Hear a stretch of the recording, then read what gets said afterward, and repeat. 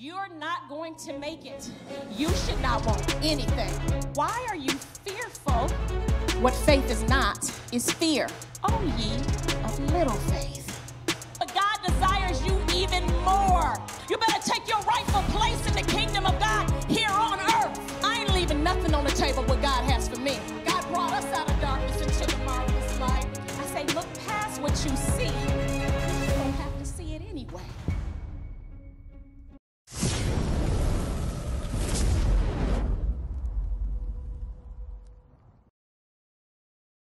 Hallelujah. You got to believe that thing. Amen. And I do give honor to my husband. He already started it, and so I get emotional. Been rocking since 1987. God brought us out of darkness into the marvelous light, saved us, and never did we think, and people even said we wouldn't make it, that we would be serving God together. You better have faith in God for what you're asking Him for. You better believe God for the miracle worker that He is. You better shut down the naysayer on today. God is faithful. I love you, honey. Hebrews 11 1 and 11 3. Now, faith is the substance of things hoped for, the evidence of things not seen. Through faith, we understand that the worlds were framed by the Word of God, so that things which are seen were not made with things that do appear. Faith University, look past what you see. And I'm calling it Faith University because I believe as we're studying all these sciences and education and getting our degrees and worldly things, and we need them, we should have a degree in faith. And so I believe it's a constant lifelong journey to build our faith up. And so I believe that God is going to give out some honorary doctorates today in faith. So get ready to receive in Jesus' name. Because if you don't know your word, if you don't know what faith is, and today you're not going to make it. Period. Faith, period. Amen. That's for Sister Keisha. In a world filled with uncertainty, fear, sickness, corruption, injustice, and unjust, pursuing leadership roles and claiming it, it is in God that they trust. It can be easy to be overwhelmed with today's society. Some statistics say that social issues and problems that trouble today's youth and some adults are social media, peer pressure, on screen violence, depression, bullying, drug and alcohol use and abuse, and much more. From global unrest to personal struggles, we face challenges that shake our sense of security.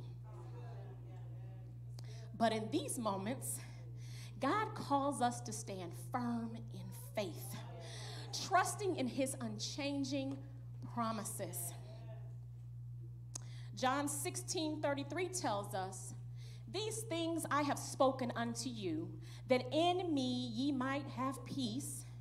In the world you shall have tribulation, but be of good cheer, because I have overcome the world. And what Jesus is saying here is that it's a continuous victory. It is a victory today that we achieve, a victory tomorrow, and in the future where we're at Christ Jesus. For us to be an overcomer means to accomplish the purpose which God has designed us. Hallelujah. NIV version. Now, faith is confidence in what we hope for and assurance about what we don't see. I say, look past what you see because you don't have to see it anyway. Move it out the way. Faith is one of the building blocks of our spiritual life. It helps us, Christians, represent the kingdom of God. We are being watched. What makes serving God so different than serving the world? We have to represent God and who He is and show that our faith in God is something that everyone needs to have to get through this thing called life. It is the reason we all gathered here today, in person or online. Hello, online viewers. We came here believing, trusting that we will receive a word today, that we will receive, healing, and we would be at peace, and we would be with like minded individuals and encouraged on today.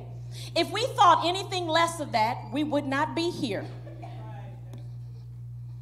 What are you believing God for today? Faith is what makes real things we hope for. It is the proof of what we cannot see. It's beyond what you're looking at. What faith is not is fear. The enemy of faith is fear because it contradicts the word of God. Fear disrupts our ability to think clearly and to lead us to make unwise choices.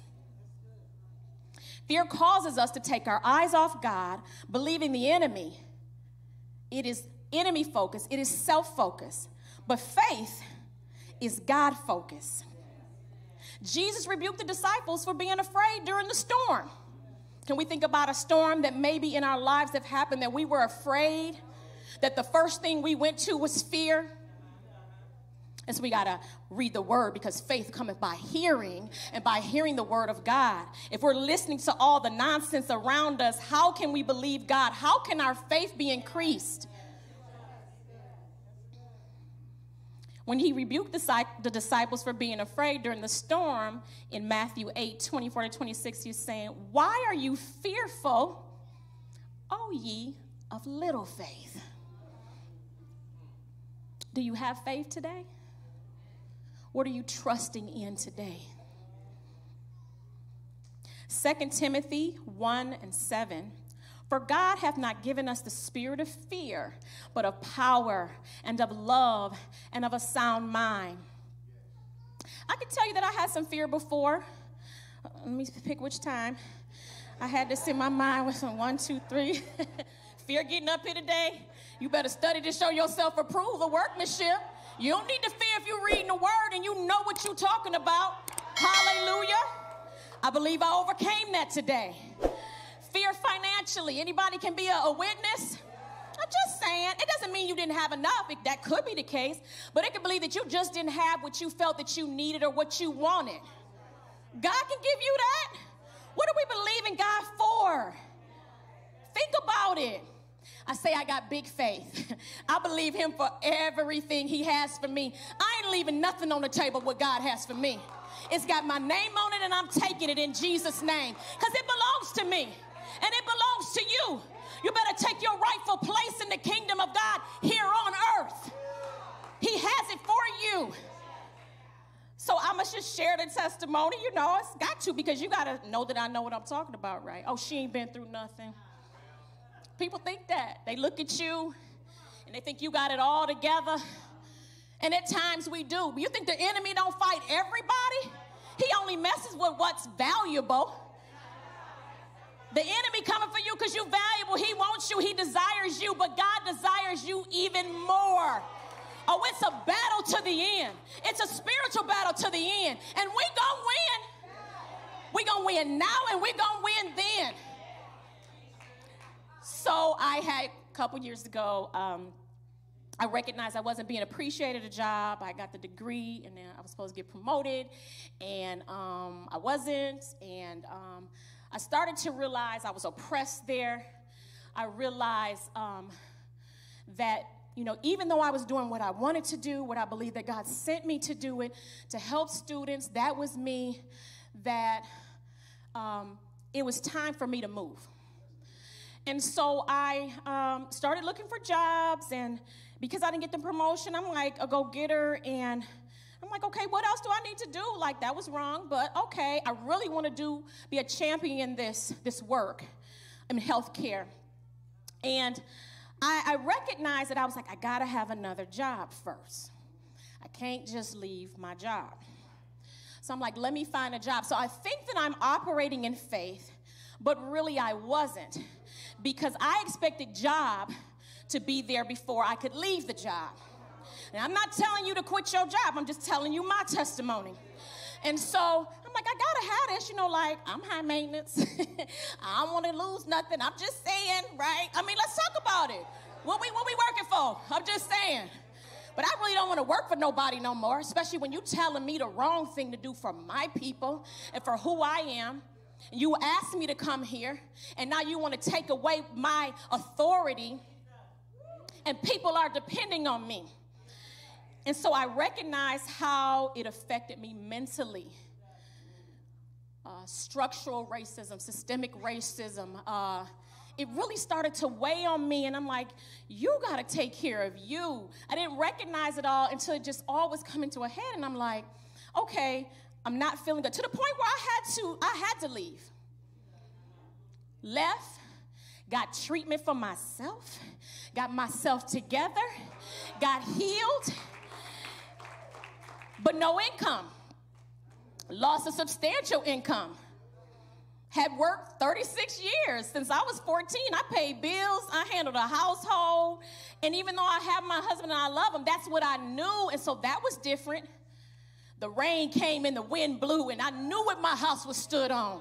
But everything around me was shaking because the enemy attacked me, my son, my family, and devil, you a lie because you can't have my son or my family. What looked like I was operating in lack, I was operating much because I said, God, I trust you. I really had nothing else to do but trust him. And sometimes we get in situations that God say, I'm going to allow this to happen to you. So you have to put your faith in me. It's not in your employer. God created them too. He knew what was going to happen. So I said, God, I want you to use me for your glory. I still want to be able to mentor nursing students. I still want to be able to advocate for health care and justice and equality and health equity. No income. It's about a year and eight months now. We ain't missed a beat, period. Okay? I have received more than I ever received. I have went places I never went before because I was working in a place that I shouldn't have been. You got to know when to cut it off. You do what God tells you to do and you leave. But you only know that if you're seeking Him in faith. You can only know that if you're in tune with your Heavenly Father. Don't ask nobody around you. Ask God what He wants you to do. So I said, Forgive me, God. He started doing what He's doing in ministry and I was like, I never thought. I said, I want to promote health equity. You're taking me to Africa. I'm thinking down the street. I'm thinking around the corner. He's forever faithful. Oh, I thank him on today. He's still amazing me. Yes, I'd like some extra income. but I ain't begging for nothing. I don't have a need or a want, and neither does my family. We've done more than we could ever do because we've trusted God. I want you to hear me on today. Your situation is not bigger than God. Of course, there's more to that, but let's just go on here. Don't focus on your problems. Look past what you see. You are not alone in the storm, nor are you by yourself in the fire. God is there with you. Are we trusting God for who He is in our circumstances, or are we trusting that our circumstance is too hard for God? Have you tried Him? I believe that faith is a growing thing, that we continue to build ourselves up in the Word of God as it says.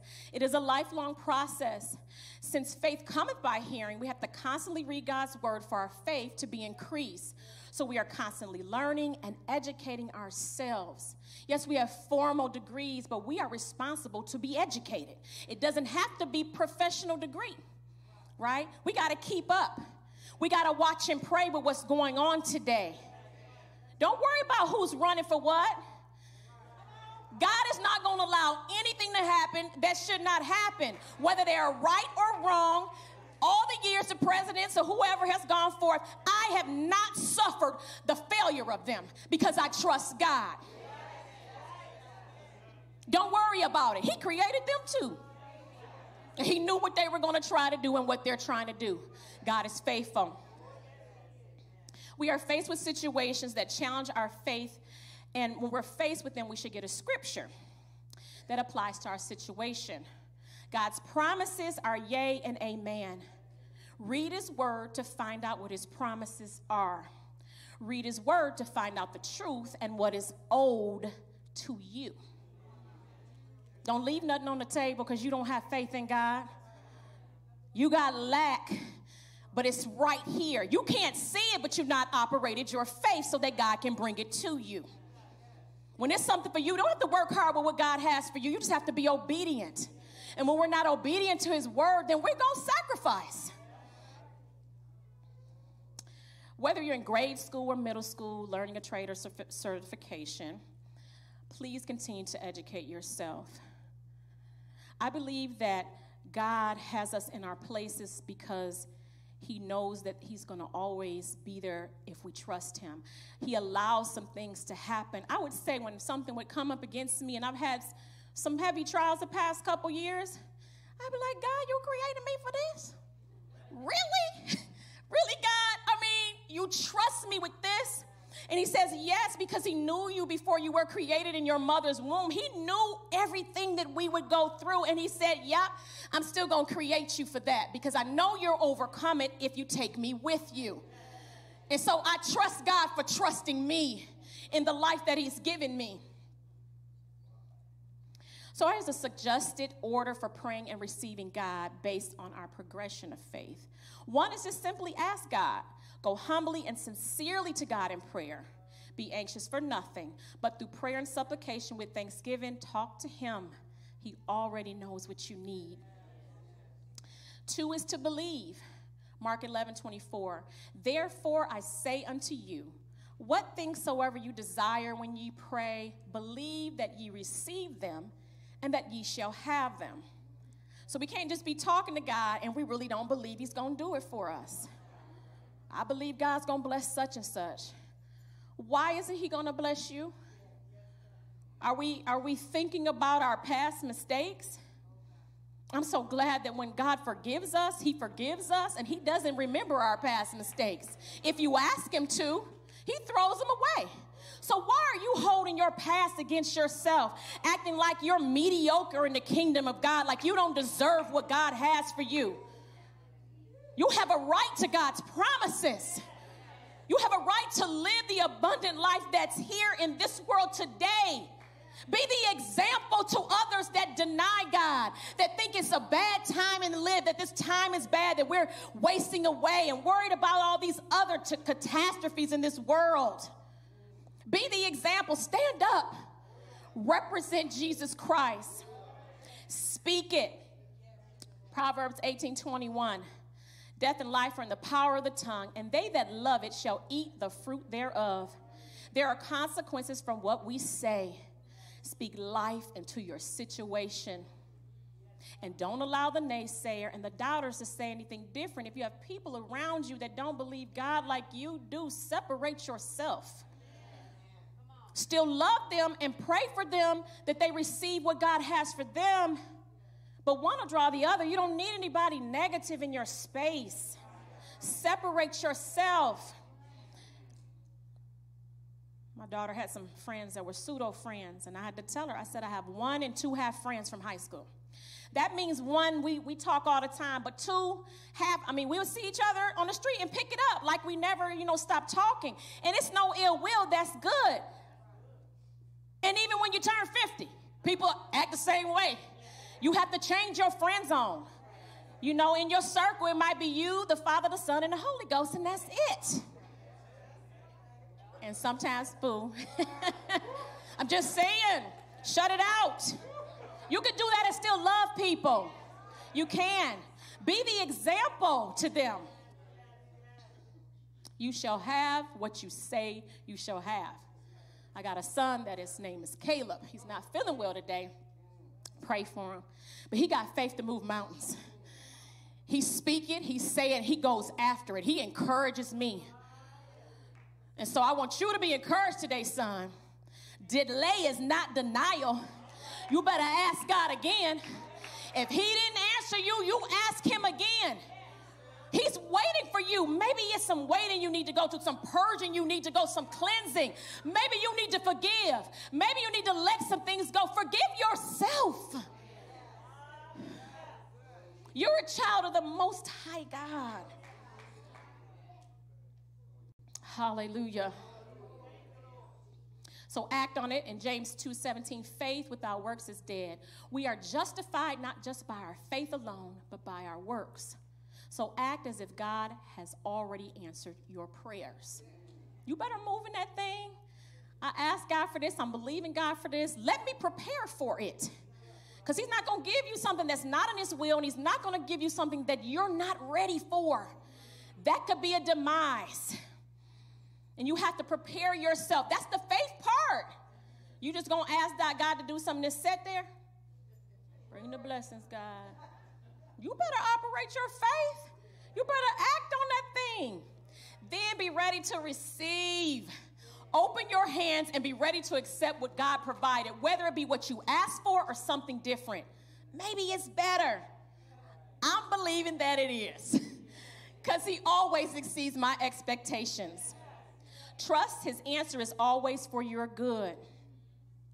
All things, whatsoever you ask in prayer, believing ye shall receive. That faith that moved mountains. You know, my mountain is different from yours. So there's no judgment after what you think is too hard. God can do anything. We need to operate more in the, in the great things of God, especially today.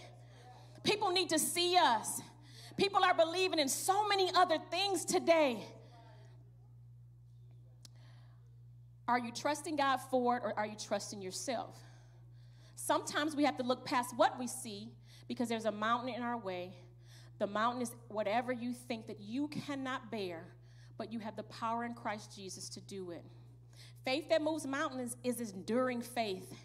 In the face of adversity, enduring faith never fails.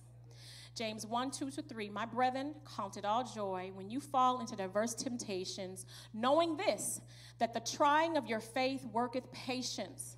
But let patience have her perfect work. I'm so glad patience is to her.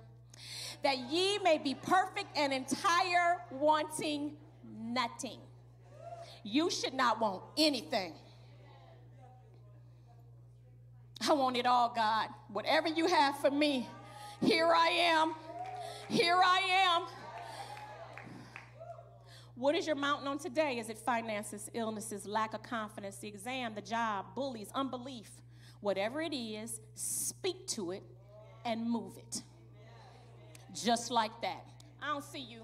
I'm looking past what I see because what I see will try to take me out.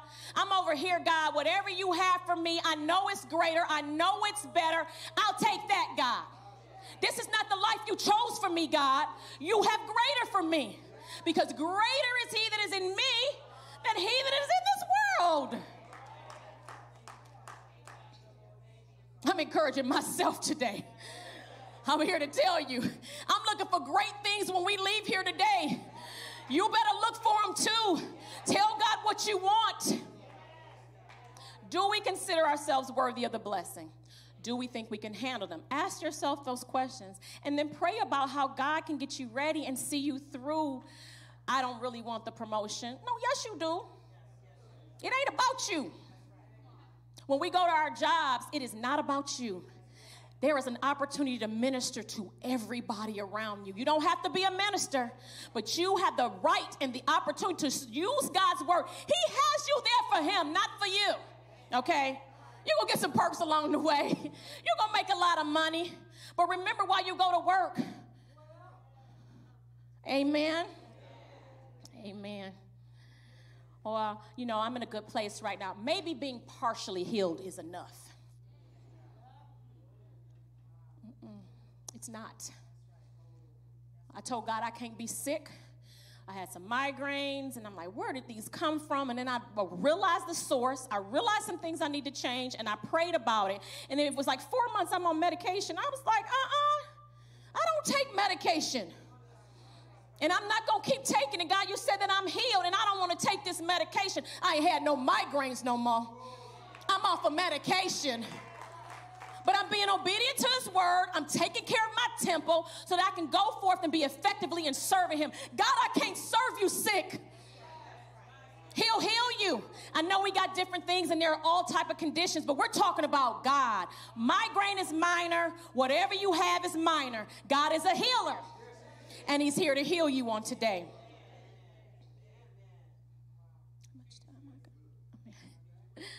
Hallelujah. God spoke, let us make human beings in our image. This is Genesis 1 26 to 28. Make them reflecting our nature so they can be responsible for the fish in the sea, the birds in the air, the cattle, and yes, earth itself and every animal that moves on the face of the earth. God created human beings. He created them godlike. Reflecting God's nature, He created them male and female. God blessed them. Prosper, reproduce, and fill the earth. Take charge. That's you. That's us. This about us. Take charge. Reproduce. I did find out that the reproducing is not just having babies. I found it out before I had my baby. So I just want you to know that's not just what it means. Reproduce. Reproduce other ministers and leaders. Reproduce other men and women of God. Train people up your kids in the way that they should go so when they're not old, what good thing can you reproduce? You can. We are responsible. God gave us all of this. You think he created you to do all of this and he going to leave you hanging? He's not. I think we have to encourage each other more. We have to talk about what God has done for us more. Having faith in God doesn't mean we will avoid hardship. Ugh, right? If we had no hardship, would we trust God? Nothing's in my way. I'm just moving on up. yes, no. we would not trust God. Let's just be honest, okay? I'm gonna be honest. So every situation I've gone through, I look at it and I count it all joy as an opportunity to trust my God more. My heavenly Father who created me. The same God who calmed the storms for the disciples in Mark 4:39 is the God who can calm the storms of your life. He is your refuge and strength and ever-present help in trouble. When the world seems unstable, let us remember that God is sovereign. He sees your trials, hears your prayers, and holds you in his hand. Isaiah 41 and 10 gives us promises. Do not fear, I am with you. Do not be dismayed, for I am your God. I will strengthen you and help you. I will uphold you with my righteous right hand. No matter what happens in this world, our hope is in the Lord, who is the same yesterday, today, and forever. When doubt arises, when fear takes hold, choose to place your trust in God. As Proverbs 3 5 and 6 reminds us, trust in the Lord with all your heart and lean not unto your own understanding. In all your ways, submit to Him. He will make your path straight. Let this be our prayer. Let this be our declaration. Lord, increase our faith. Help us to trust in you even when we don't understand. Strengthen our hearts and remind us that you are with us always, even to the end of age. God promises that nothing can separate us from His love, that He's working everything out for our good, that He's made a new creation. He promised to protect, He promised to teach us, heal us, give us peace, to be near to us, to prosper us, and not to harm us. He won't condemn us. He promised to bless us. He promised victory in Christ Jesus, promises on purpose in your pain. He comforts us. He promises to strengthen us. He promised to lead and guide us, give us rest and wisdom. He promises to protect our hearts, our minds from anxiety. He is our firm foundation. He's what our house is built on. Psalm 62, 61 and 2, when my heart is overwhelmed, lead me to the rock that is higher than I. I, he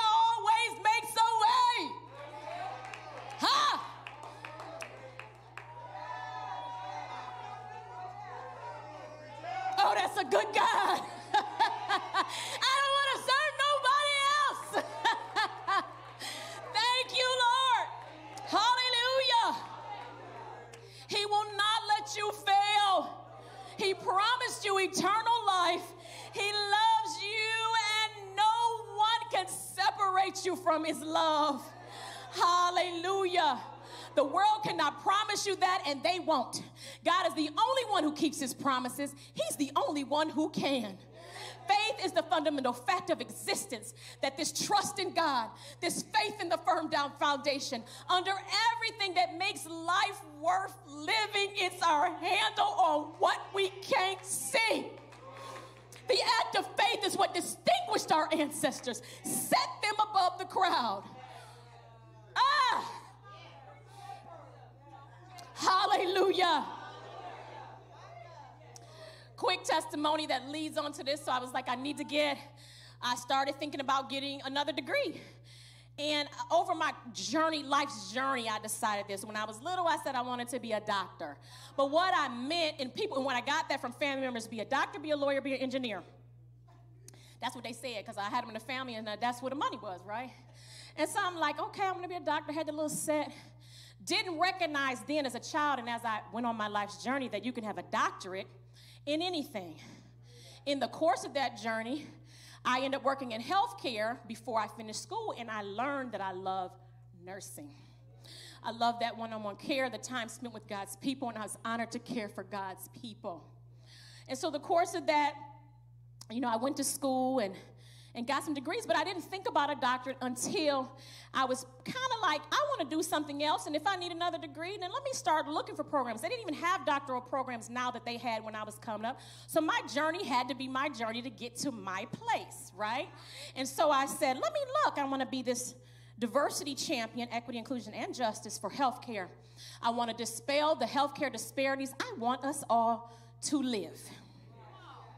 That's a whole nother message. What can I do? Okay, if I need to do more, I can do more. But then I started thinking about it. And I enrolled in a doctoral program in 2021. It was like, everybody was like, oh, wow, okay, mom. Like, you know, yeah, I, want, I, I found a program. It, it, it, was a doctorate of nursing practice in healthcare management and executive leadership. And I'm like, that's it, right? So that's how it came about. But then God said, but wait.